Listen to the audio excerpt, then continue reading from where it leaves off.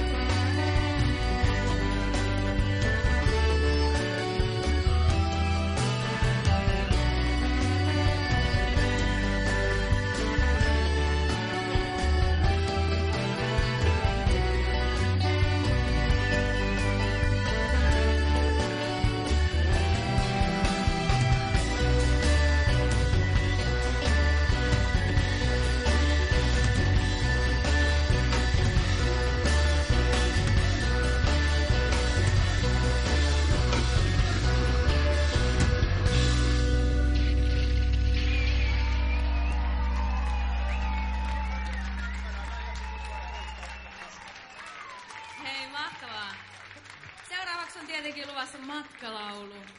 Kuinkas muuten? Tämä on ihan törkeen siistiä. Yhteistä matkaa paapataan. Siinähän se mennään. Mä muistin tästä meidän paleitkoja paljon. Teistä kun tekis tämmösen, niin olisi niin monta säkeistöä, että... Huh, huh. Jokainen jossain pullalla jokainen käy jossain. No niin!